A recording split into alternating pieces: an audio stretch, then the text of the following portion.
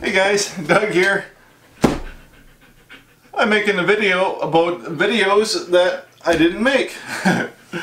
it's been a crazy week and uh, I did a whole bunch of stuff. Started to film uh, a few different videos and then you know how I've said in the past I overthink things and think they end up being dumb or whatever. But uh, anyway, I thought I just let's just mix them all up and uh, put it into one video and uh, give you a taste of my week and uh, maybe some fun ideas. So let's just jump right in.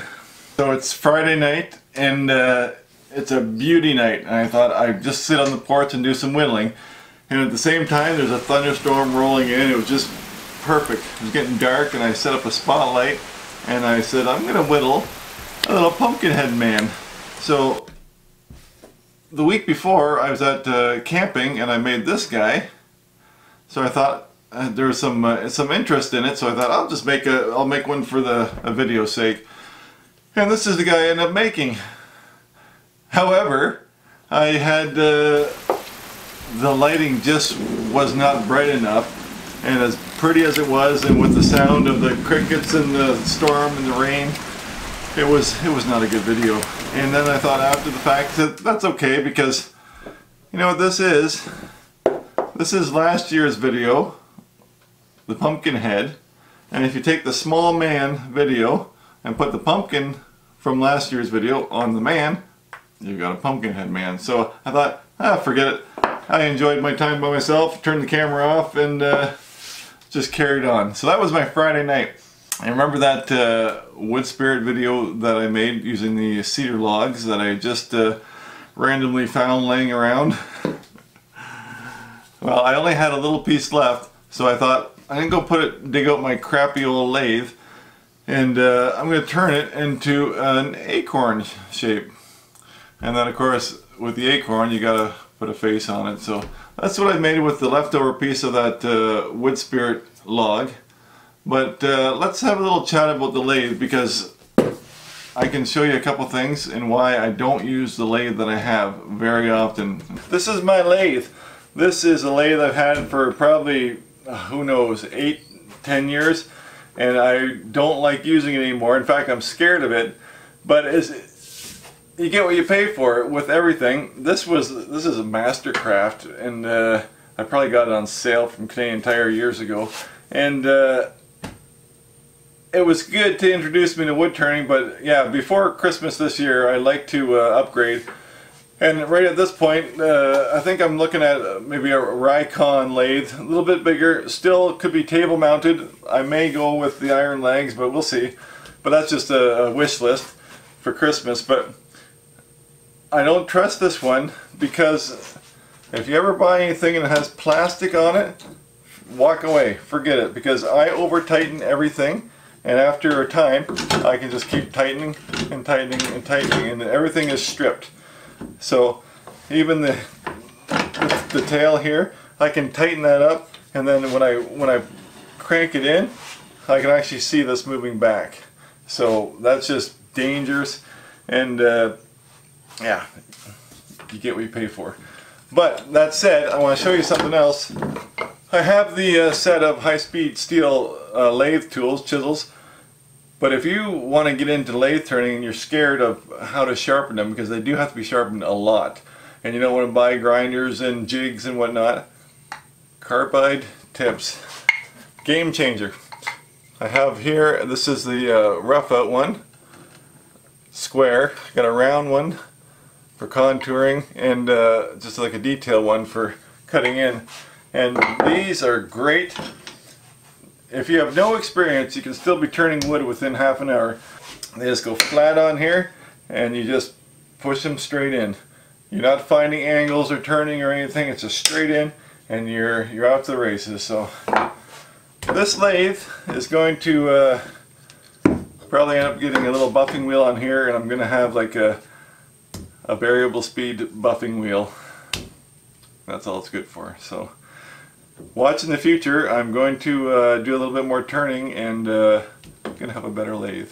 From, from one nut to another I actually started this project a couple days before this guy.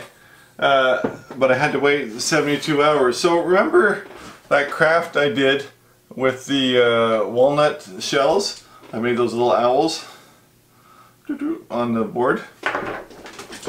Well, what I decided to do was uh, take some little slices, what a good healthy eighth of an inch slice, and uh, over shopping in Sophie's craft room, I saw this box of Easy Cast Clear Casting Epoxy. So this is a two-part epoxy that you mix up equal parts. This came from uh, Michael's Craft Store. I'm sure Hobby Lobby, etc. has the same same idea. But I mixed it. This is clear, or opaque. And I put in some red oxide, again, from Sophie's Craft Store across the hall here.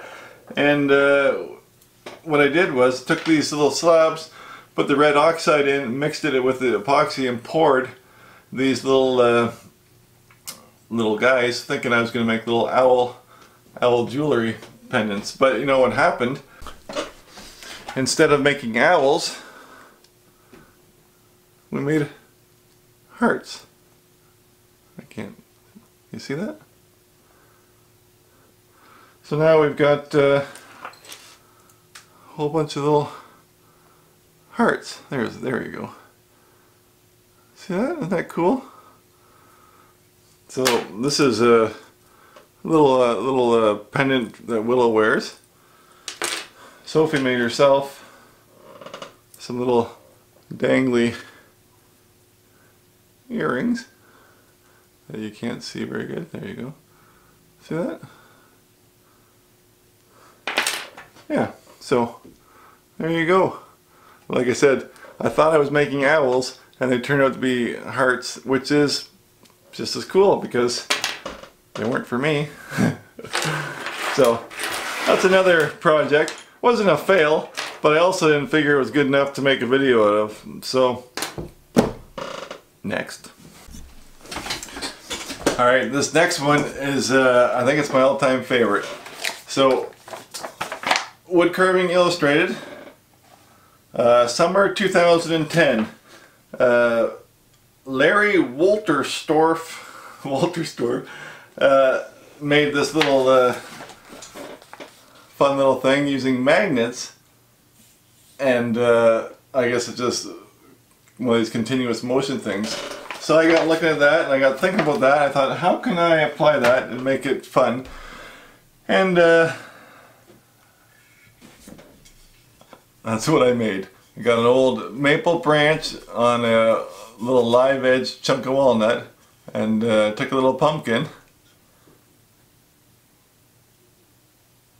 Look at that. Isn't that fun? And it'll keep going. It starts spinning and turning, but it can't go straight. It can't hang down. It has to it has to be repelled. Put the magnets in reverse so it can never go back where it belongs. But what I did with that is you can see the little piece in the bottom. I didn't know how to do it. I didn't want to. Uh, I had you, you got to have the uh, the magnets close to the surface, but you don't want to know that there's magnets under here. So in this case, I just took a router, took a half inch uh, flat bottom router bit, and just kept going down a little bit at a time, a little bit of time until I left one eighth of an inch there, and that's the size that I did and then I just put a plate. So I just glued the magnets in so they're really they're only an eighth of an inch under the surface of this piece of walnut. But uh, I just I didn't want to get another piece of walnut out, so I just put a chunk of maple in the bottom. But anyway, you're not supposed to look at that, but anyway, I just thought that was so much fun. So I posted all this stuff on Instagram, and everybody and their brother says I should be making all different kinds of things, but for this season, I thought the pumpkin was a good idea, and even if I had done like a, a, pumpkin with a face, the only issue to me was that it keeps turning. So a lot of people thought a ghost would be a real cool idea, but uh, like I said, anything that has a direction or a face, it's going to keep spinning around. So you choose, but who knows, I may do that video again, but again, you can't make the video if you've never done it before. And I uh, just wanted to test it and see how it worked. And I mean, this sits on the uh, this sits on Sophie's little shelf above the sink in the kitchen, and where she keeps all her little goodies. And you can't walk by without playing with it. So yeah, I really like that. So that's that one. Absolutely useless, but so much fun. I love it when it just goes like just ran random. Look at that. Anyway, besides uh, Mr. Pumpkinhead, I was also did some other little whittling. Kind of went a little bit Harley Refsal on this guy. This was, uh, I guess this was just last night I finished this guy. So, little guy with the vest there. I tried to kind of, in the spirit of Harley, I wanted to, I tried to do a little bit more flat planing type uh, carving, so I got a lot more real flat facets on there. So, and then this is what I've been playing with today, just for fun. A little piece of pine. Oops. I might make him purple. Make a little purple people, purple people eater. But he's kind of cute. So, and again, this is pine. People always ask me, they can't get basswood, but pine does carve really nice. This was just a piece of 1x2. I, I made something at work and uh, had a little scrap of 1x2 pine and uh, I thought, well, I'm not going to throw that out and I probably got about eight guys like that in there. So carve some pine. Oh, and the one thing I almost forgot was uh, I made a new tool rack here. I only use about four or five of these pieces, but every once in a while something creeps up that I, I use a different tool. But I had all these in a drawer over here, and I thought that's ridiculous to have them rolling around rubbing against each other. And again, people wanted me to make a video of this, but it's just too simple to make a video. This is four feet long, and basically it's just holes drilled. I think these are inch and a quarter. I think these are an inch. These are half an inch. And, uh, you know, different size handles, different size holes. So you can put these in the...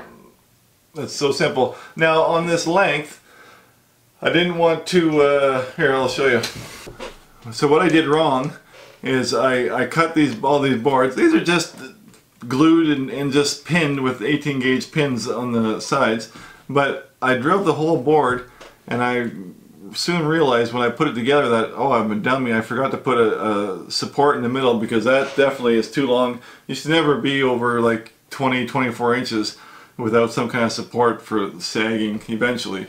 So what I did here, after I had all the holes drilled, I couldn't block off the holes, so I just put a half inch dowel right there through, and that uh, that gives support so it can it can never sag or or move around. So simple fix, simple little project. Too simple for uh, for video's sake, but yeah, everybody is afraid to make them, but it's so easy. It's not even funny. If you were super creative, you could dish out the holes straight through in the bottom. But when I use pine, as you can see, the knife, the point goes in, and uh, it's not going anywhere. It's works for me. In fact, I kind of like it because in, in the long run it gets all beat up and worn and uh, looks old and rustic and I'm all about old and rustic especially when I look in the mirror so alright so I think we covered it all we got our pumpkin head which is just last year's pumpkin video on a man's body which is carve a little man video and that's basically what he would end up being a little guy like that Alright. We got our little uh, cedar log acorn head, our little carvings. We got our little our little walnut uh, shell earrings. And my little pendulum magnetized pumpkin, which is my favorite thing. So instead of uh, five different boring videos, uh, I give you one. So I don't know. Hope you like the kind of thing. It was uh, it was kind of an afterthought today. I was like, oh man, like I need a video. Not that I, I'm committed to giving you videos every week, but I kind of like to do it if I can. So I thought, this is a video. All these things make up a video, so there you go. I've watched worse videos, I know that. So anyway, thanks for watching, and uh, I'll catch you in the next one. See you guys.